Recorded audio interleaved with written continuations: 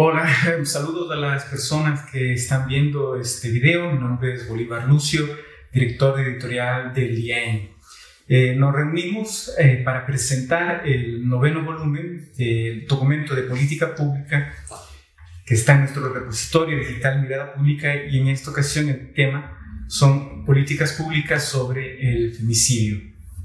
Me acompañan eh, Valesca Aleja Díaz, y el profesor Po Chun eh, ambos personas que han colaborado con excelentes artículos para este eh, número y tendremos la oportunidad de escucharlo, desarrollar con algún detalle y más profundidad en qué consistió su artículo en particular y la colaboración para eh, profundizar, para volver más denso la discusión sobre este tan importante tema en un país como en el Ecuador y también en la región. De manera que sin otro preámbulo, me gustaría dar la palabra a Valesca, que nos ha escrito un artículo eh, titulado El derecho a las reparaciones para hijas e hijos víctimas de feminicidio. Adelante, por favor, Valesca. Muchísimas gracias, eh, Bolívar. Qué gusto estar aquí con, con Po Chun también. Eh, para mí, sinceramente, el conversar, el dar, digamos, un espacio al tema del femicidio es vital. No solo porque estamos hablando de un tema que en la actualidad eh, nos horroriza como cifras, sino porque es una realidad latente que desde hace, desde hace muchísimo tiempo sucede. Es, un, es una pena que nuestra sociedad ecuatoriana y en general en el mundo todavía tengamos que hablar de femicidio, todavía tengamos que hablar de violencia contra las mujeres. Entonces, en este sentido, más bien agradecerles a ustedes por, por, este, por este espacio, agradecer a Mirada Pública en la entrega número 9 eh, por um, haber tomado en cuenta este tema tan importante.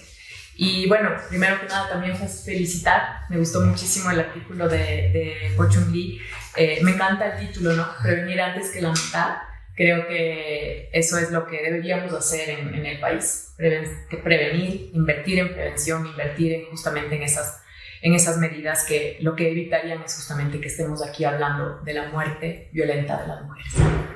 Eh, con respecto ya específicamente al, al, tema de mi, de mi artículo, eh, quisiera también hacer una puntualización. Eh, no es que solamente las hijas y los hijos de víctimas de femicidio son titulares de las reparaciones. Yo creo que más bien me enfoqué eh, en niños, niñas y adolescentes es justamente por la situación de vulnerabilidad que ellos por su condición de edad también se encuentran. Pero eso no quiere decir, y con mucho respeto a todas las madres, a las hermanas, a los padres, a los inclusive sobrinas, personas que han sido inclusive amigos y amigas de las víctimas, que ellos también tienen derecho a las reparaciones, sin duda. En este caso, por un eh, ejercicio académico me he centrado eh, específicamente en hijos e hijas, eh, hablando de niños, niñas y adolescentes.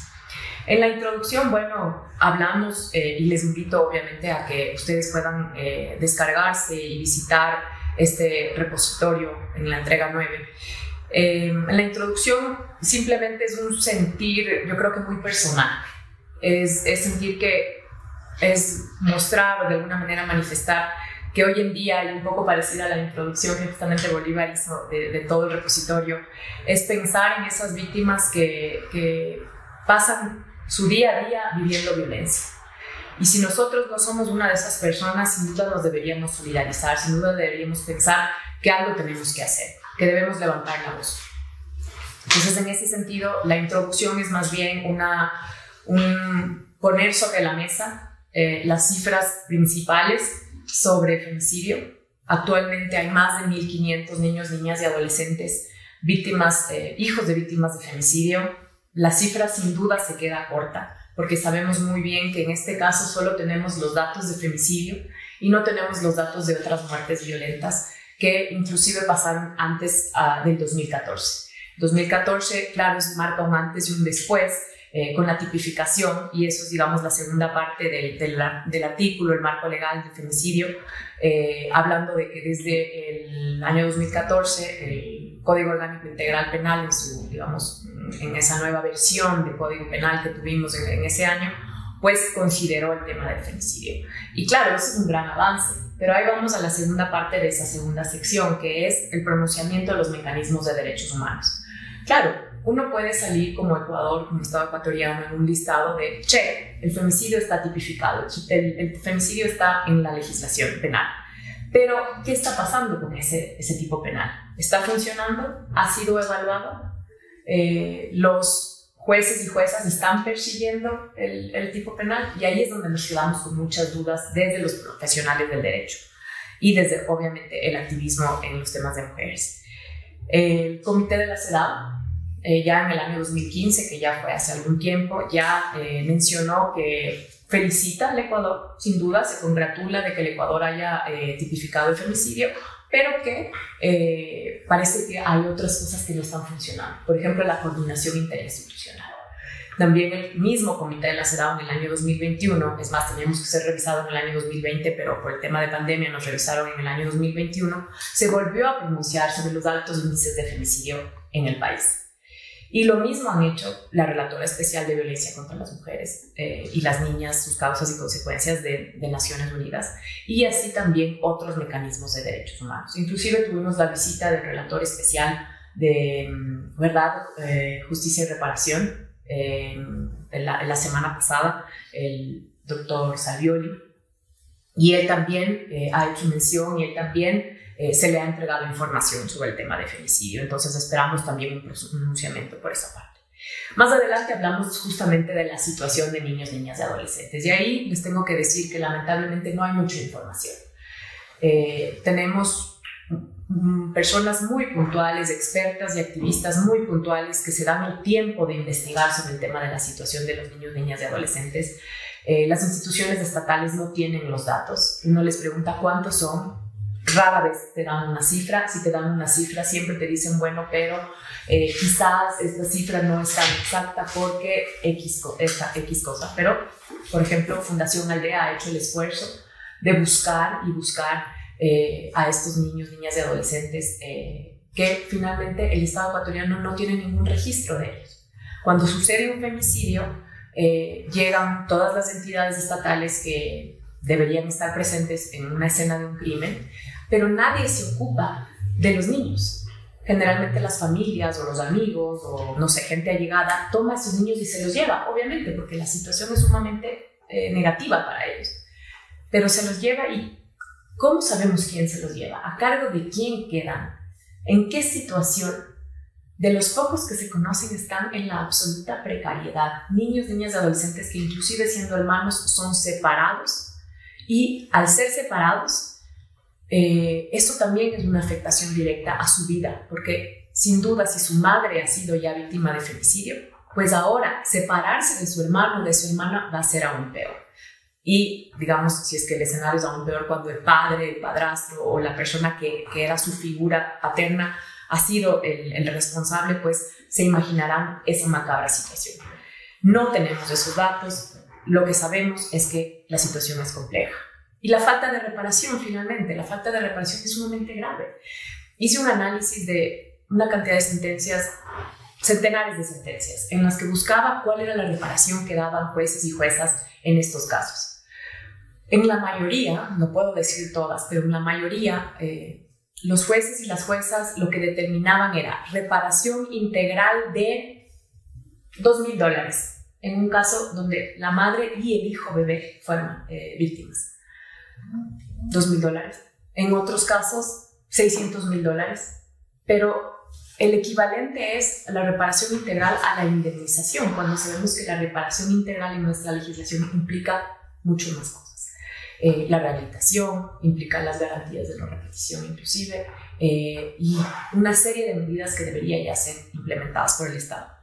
Actualmente existe este bono, ¿no? el bono de orfandad.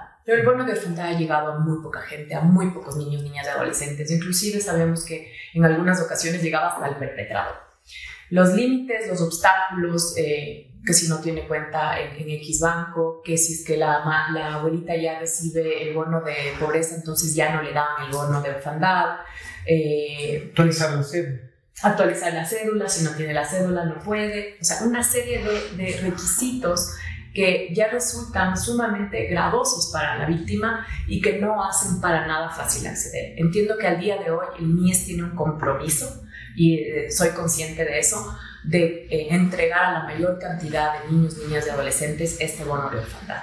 Y bueno, en las conclusiones y recomendaciones, justamente lo que eh, hemos visto en, en, todo, en todo este, esta entrega de la mirada pública es la necesidad de políticas públicas, porque finalmente podemos tener leyes maravillosas, podemos tener pronunciamientos de mecanismos internacionales que nos dejan eh, con una claridad sobre los estándares internacionales que debemos cumplir como Estado.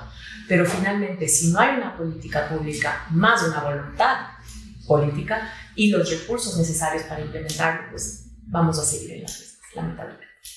Bueno, agradezco mucho a Valesca su, su intervención, la claridad con la que con la se expresó y con la idea final también que es verdad, no es, no es tanto la, la ausencia de un reconocimiento del problema que podría ser más profundo o la ausencia de una legislación tanto interna como los convenios o digamos los, los acuerdos que existen a nivel internacional.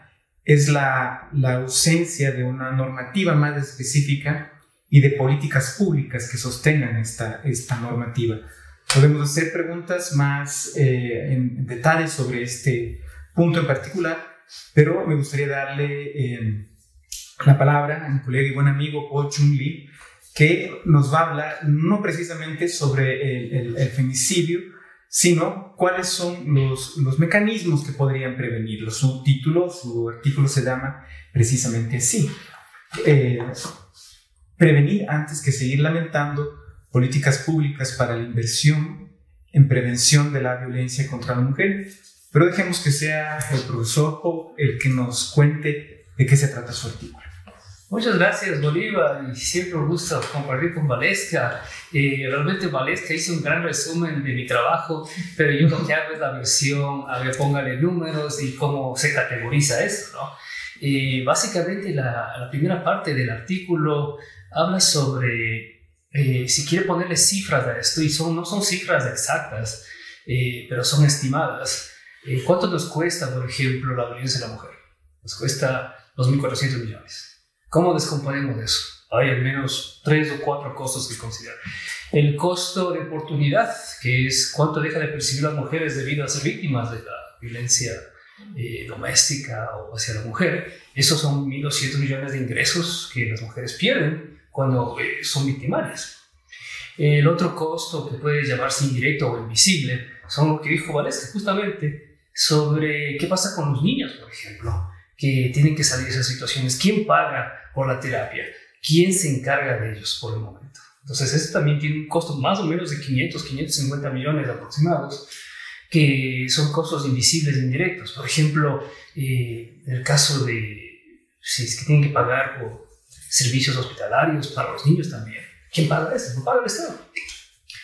Eh, y de ahí también hay esta idea de, de eh, un costo social o comunitario que es todas las familias o los vecinos o los allegados de estas víctimas también tienen que poner eh, dinero eh, justamente porque por razones solidarias se lo hace, por razones hasta, hasta de, defensa a, su vecino. Entonces también vemos que eh, servir al prójimo tiene un costo social que costaría a los parientes o a los amigos allegados de, de las víctimas.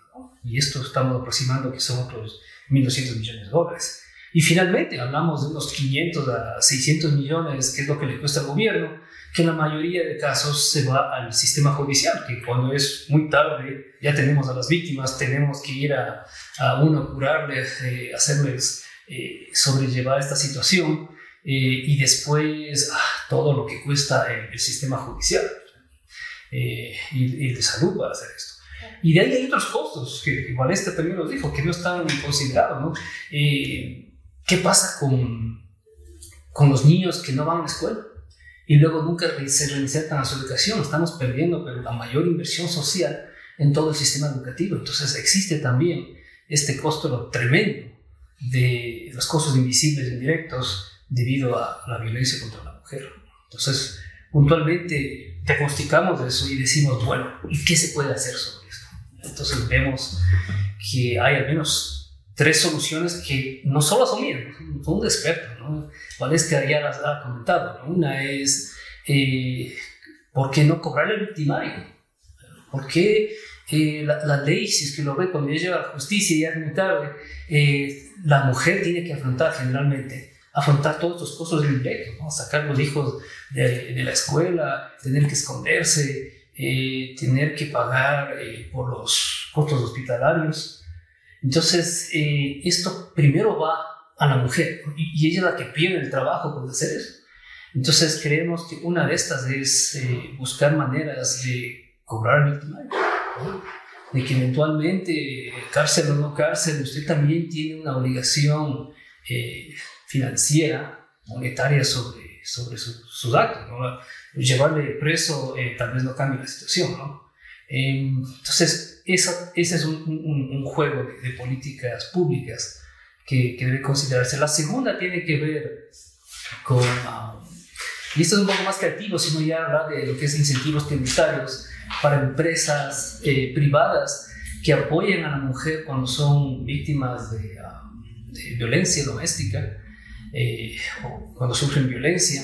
Porque hay que pensar que desde la empresa, la empresa tal vez quiera ganarse dos cosas. Una es esta, esta fama, esta publicidad de que apoyan básicamente la mano de obra, que es realmente el capital social más importante de cualquier empresa. Y la otra es, eh, aparte de la imagen, si lo es le ayuda a su negocio, es también tener estos incentivos tributarios y, y promover esto de que no se sienta mal. Eh, la empresa también está ahí para ayudarle en estos casos que usted sufra de, violencia doméstica. Y, y hay, hay, experiencias en México, especialmente más maquiladoras, por ejemplo. Se vive estas experiencias porque eh, de alguna manera que quieren continuar con, con, la productividad, pero saben que esta productividad depende mucho de, de la mano de obra importante de las mujeres. Y el tercero, ¿no? que ya lo he dicho de vez, que es, eh, es uh, invertir y, y, dedicar políticas públicas a, a, la inversión de prevenir. Porque todo lo que yo dije aquí, se, si usted mete más dinero en a prevención, eh, en teoría podría reducir estos costos, todos estos costos indirectos, invisibles, costo de oportunidad al 90%. Entonces, por eso es que, eh, y eso es lo que menos hace el Estado. Si es que hablamos de ese presupuesto de 500, 600 millones, ni 6 millones va a prevención. Si no solo estamos como viendo a víctimas que lamentar, meterles al sistema de justicia, meterles en los peores casos a, emergencia, eh, en lo que es hospitales. Eh, entonces es, es terrible lo que sucede y es prevenible porque estas políticas, la inversión que puede ir a prevención, puede reducir todos estos costos invisibles, teóricamente hablando, eh, y en práctica también. Entonces, eh, por eso es que hablamos de, políticas, eh, de hablar de prevención, de cuál es el origen, cómo se lo corrige, cuál es la verdadera reparación que se desea. Entonces, ¿cuál está cubrido todo esto? Yo le he puesto lo que son los números. Eh, pero creo que no estamos muy, muy lejos de, de, aportar a este terrible problema de la sociedad. Pues muchas gracias, eh, eh, les recuerdo a las personas que ven este, este video que los documentos de, de mirada pública pueden accederse y eh, descargar sin ningún costo en nuestro repositorio. Pienso que nuestra producción nos puede ayudar a incluir la, eh, el, el, enlace para que puedan acceder. Este es el segundo documento que como universidad eh, publicamos sobre, sobre este tema. El primero, y que también está disponible en la página de, editorial, es El femicidio en Ecuador, un estudio eh, interdisciplinario. Se presentó en diciembre pasado en la Feria de Quito y ya hemos superado las, las mil descargas. es, creo que lo dijo también Valesca, ¿no? O sea, el único, la única cifra aceptable de, femicidio es cero, pero eh, comprender que se está suscitando un, un, debate, que ese, ese, ese, debate existe porque hay una, una nueva conciencia sobre este problema, que esa conciencia existe gracias a iniciativas académicas o de la sociedad civil como la Fundación Aldea sobre la publicación que también se ha consultado para presentar ese documento de, de, políticas públicas es, es claro. Eh, yo quisiera eh, solamente cerrar esta, esta intervención, no sin antes agradecerles a, a, mis colegas, eh, puntualizando cuatro cosas y después también dándoles la oportunidad si quieren redondear una idea o tal vez preguntarse mutuamente otra, otra cosa. Eh, es verdad, existe, lo, había mencionado, existe la, la, las leyes, pero no la normativa específica. Entonces, lo que se, se sugiere a partir de estas intervenciones es que es preciso eh, visibilizar el, problema para eh, crear una, una conciencia que genere otras ideas que permitan eh, solucionar el, el, problema. Pero eh, sobre todo eh, para empujar una toma de decisiones, es decir, la, la más clara identificación del problema podría que esa decisión política hacia la política pública ocurra de manera, de manera más concreta. Esta tarde creo que tenía una, una, audiencia en la presidencia de la República algunas madres. Les deseo la mejor de, la, de las suertes pero eh, también la diversidad de circunstancias hace imprescindible que la política pública recoja la diversidad de estas necesidades hacia una, una solución. Eh, es necesario también invertir en capacitación, es decir, esta, estas soluciones no van a encontrarse o aparecer por, eh, por sí mismas. como dice Poe, las alternativas que nos, que nos dan podrían ser una, una salida no tanto en la, en la, en la, en inversión que no es, no es suficiente, eh, eh, sino en el gasto que se podría evitar, ¿no? Pero es preciso que las instituciones adecuadas, con las responsabilidades adecuadas, puedan tener una estructura de aplicación de política que pueda ser sostenible en el, en el tiempo. También es preciso que esta eh, capacitación, digamos, de, eh, y es lo que se menciona, por ejemplo, en el artículo de Valesta, pero también en el de, que nos mandan Geraldina Guerra y Nicoleta Marinelli, invertir en capacitación para que policía, para que jueces y juezas, para que los fiscales puedan eh, dimensionar eh, ese, ese, evento criminal como un femicidio y se tomen las, las medidas adecuadas a, esa, a ese hecho. También está eh, inversión rebasa, quiero decir, se transfiere, eh, tiene que ver también con una sostenibilidad eh, institucional. porque claro, no, se trata solamente de, de, atender la fiscalía, la policía, sino darse cuenta que esta transversalidad de género debe alcanzar a las instituciones rectoras de educación, de salud, de seguridad social, para que también en esas instancias puede haber una retroalimentación, una, transferencia de información que alimente las decisiones del juez, que guíe las acciones de la, policía. Y claro, eh, desde, la, desde la academia, desde el trabajo que nosotros podemos eh, hacer aquí es recoger esa información y tratar de, problematizar a través de, de otras eh, fuentes, ¿no?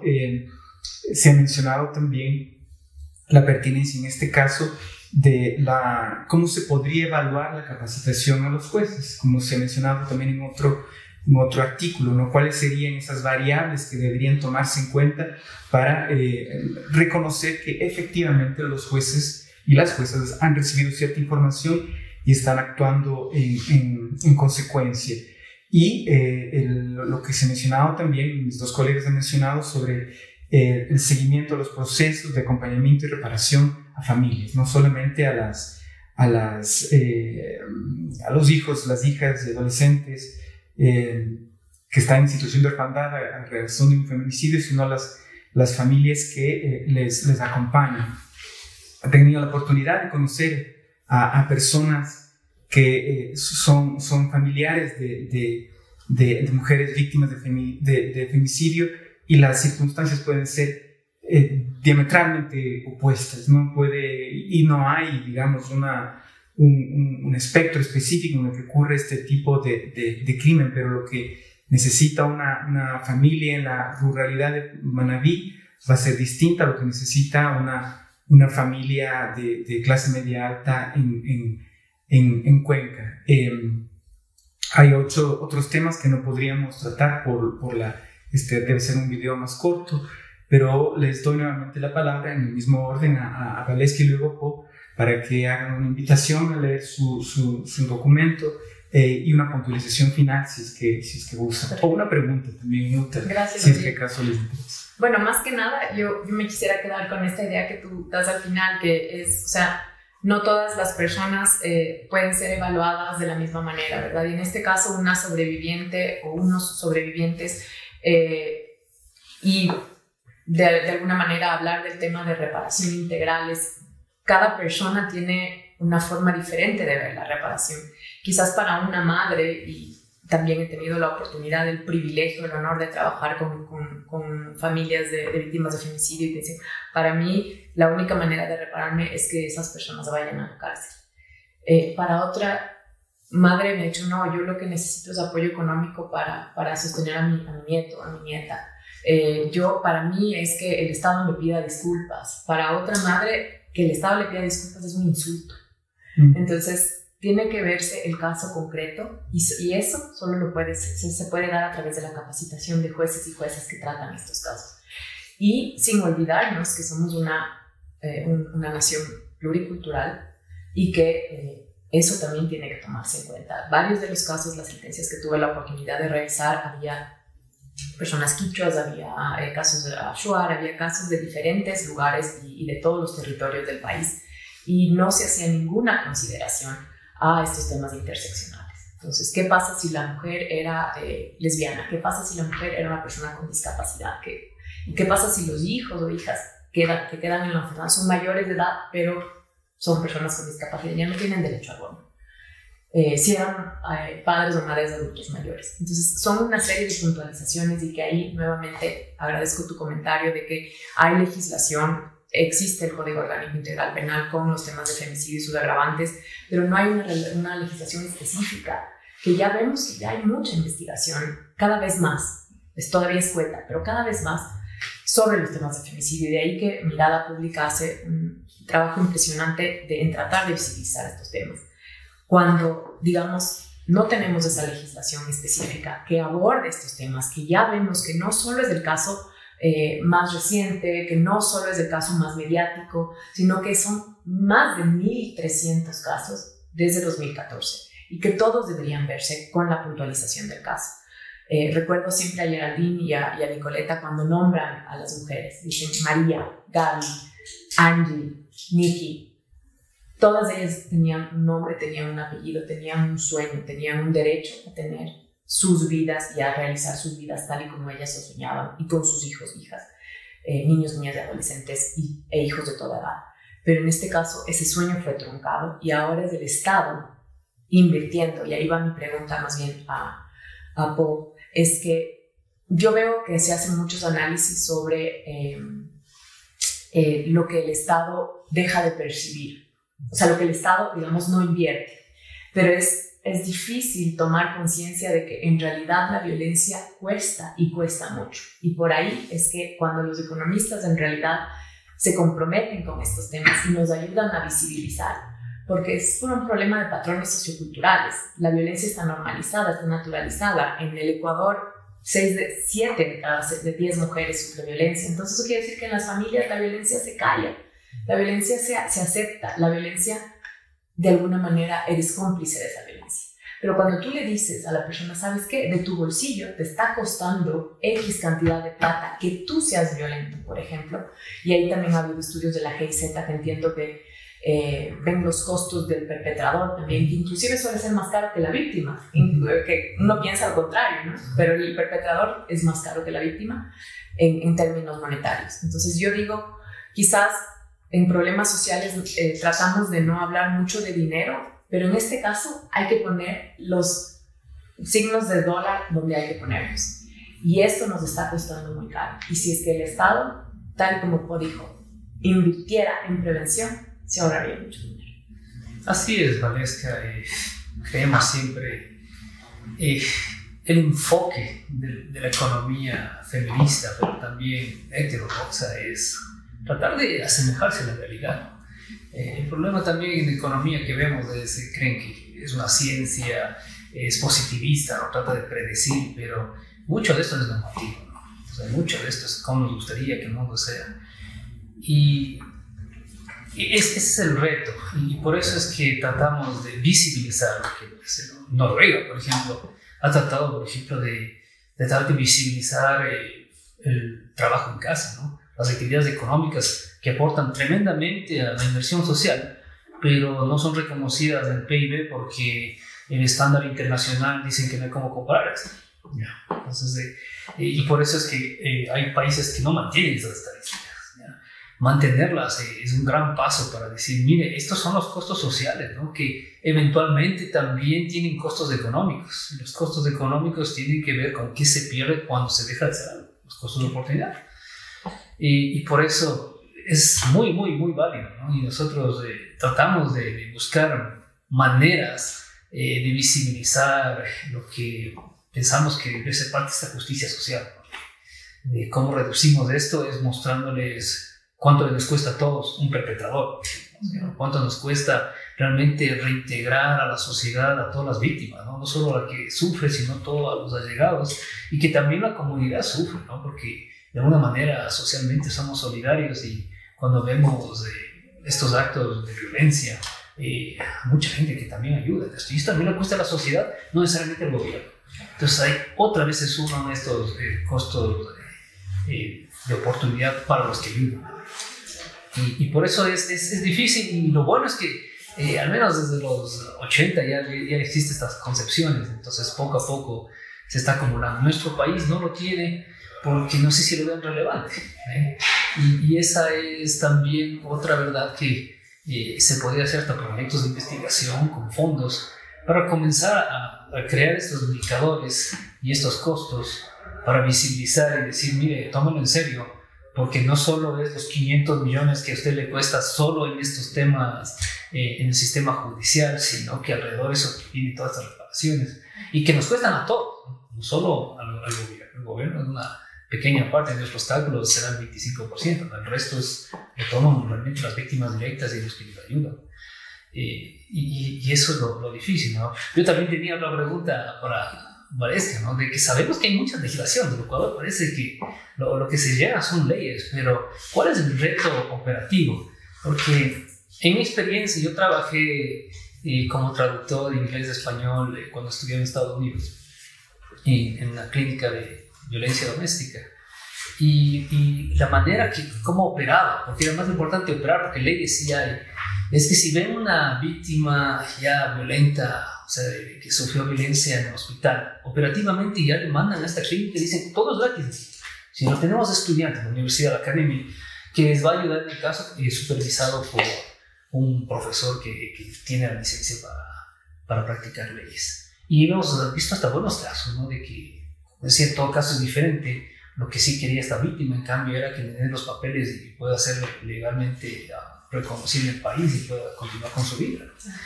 Entonces, eh, ¿cuáles son esos retos operativos que lo vemos? Una cosa es, ya, yo puedo ceremoniar la ley, pero eso no va a cambiar el mundo. Lo más importante es, tengo un lugar donde puedes quedar. Eh, eh, si te pasa algo, te vamos a curar. Tenemos todos estos instrumentos legales que vamos a hacer por ti, tú no te preocupes. Eh, por ejemplo, esto de que no se acerquen a las víctimas 150 metros, llaman de repente a la policía, reparación, ya se va a venir, eh, si es que es posible aprovechar leyes migratorias en el caso de Estados Unidos, o sea, entonces, eh, ¿cuáles ves tú en tu experiencia que, que, son estos problemas, retos operativos, ¿no? de realmente de, salvar a la gente? Ahí entonces tendría yo que ligarlo un poco con, con vacíos legales también, porque sí existen, digamos, de alguna manera mm, temas que no han sido abordados. Y ahí hay una ley actualmente, un proyecto de ley en realidad que está siendo tratado actualmente en la Comisión de Garantías Constitucionales, Derechos Colectivos, en la Asamblea Nacional, eh, que justamente trata de eh, llenar estos vacíos. Por ejemplo, el tema de, de, la, de la contención. La contención no es justamente algo que el Estado simplemente da, es la sociedad civil. A la sociedad civil le cuesta la, la contención. Eh, la sociedad civil es la que apoya, es la que ayuda a conseguir, perdón, la expresión ataúdes, es la que ayuda a conseguir dinero para las víctimas, es la que ayuda a conseguir reconstrucciones faciales cuando las víctimas han sido, eh, digamos, atacadas en su rostro. Eso es lo que hace sociedad civil con, digamos, una gestión propia. Porque esa falta de operativización que hay al, interior del, del, del Estado es lo que nos preocupa justamente eh, a las organizaciones de, de, sociedad civil que trabajamos los temas de mujeres y feministas. Porque, y voy a poner un ejemplo muy práctico, el otro día eh, yo hablé sobre el tema de un bono con un, con un funcionario de, de, un ministerio y me dijeron, sí, pero no tenemos carro para ir a ver a la, a la víctima. Les digo, pero ¿cómo esta persona ya no, no, ha accedido al bono de orfandad? Este niño de 11 años, que en su momento tuvo 8 años cuando falleció su madre, eh, pero tienen que ya darles. sí, sí, señorita, estamos, ah, estamos avanzando, esto, el otro. El único problema es que no tenemos automóvil para dirigirnos allá, porque tenemos que hacer una visita, digamos, de rigor, en donde recojamos todos los datos, donde veamos las condiciones donde está viendo, pero la dirección que usted me está dando es muy lejos y no tenemos carro. O sea, claro, imaginaron ustedes que yo me quise desmayar con, esa, con esa, ese comentario que me hicieron y me di cuenta que justamente el Estado ecuatoriano está invirtiendo de manera errónea, que está invirtiendo en las cosas que no hay que invertir y que no es falta de recursos, como muchas veces nos dicen en, el territorio, van gente a pedir el bono dicen, no, es que aquí plata para nada, no tenemos dinero, ustedes saben la recesión económica, estamos en crisis, ta, ta, ta. Cuando las autoridades nos dicen, no, dinero sí hay, sí hay un monto establecido para los bonos, solo que eh, tienen que cumplir tantos requisitos. El procedimiento es muy poner 20 dólares requiere esto de papeleo. Y son que, y, ni siquiera la cifra es clara. En la televisión yo escuché una vez que son 150 dólares. Cuando yo investigaba para mi tesis de maestría me decían que eran 70. Una compañera que también trabaja en temas de, de apoyo a víctimas de femicidio me dijo que le dieron 50. Entonces también es como un poco raro, ¿no? El, no hay claridad. Entonces, yo creo que por un lado es la transparencia, que el Estado sea transparente y que, y que donde haya fallas se puede arreglar. O sea, tenemos la capacidad, la sociedad civil puede apoyar, la academia puede apoyar y por eso es que me gustaba mucho que Bolívar decía, aquí es un trabajo mancomunado, no, nadie lo puede hacer solo, ni solo. Entonces, eh, creo que eso es, es, muy importante, saber que hay vacíos, que esos vacíos ojalá se puedan llenar con temas legales para que de alguna manera sean vinculantes y obligatorios y no se escuden en que no, no existe la legislación que exista, pero que también eh, más y más actores y actrices nos podamos sumar, inclusive la empresa privada. Entiendo que también la cooperación alemana hace un buen trabajo con, con, este, esta empresa, se, eh, sello Empresa Segura, me parece, hacen unos cursos para que las empresas también se comprometan con los temas de violencia. Entonces, sí, no, primero que nada, desde nosotros mismos, no, no socapar, no aceptar de ninguna manera los temas de violencia, para que esos temas de violencia ojalá nunca lleguen a ser un femicidio y que recordemos que no solo se ataca a una mujer, no sé, de 35 años, 40, 50, sino que se ataca desde niñas de dos meses hasta señoras adultas mayores eh, de toda etnia, eh, de toda condición migratoria, con discapacidad. Eh, entonces que la reparación tiene que ser vista desde esa manera integral, intercultural e interseccional. Muchas gracias por, por venir a a Valesca y, y, a Po por habernos acompañado esta tarde con sus exposiciones, también a las personas que ven esto, muchas gracias por, por vernos y hasta pronto.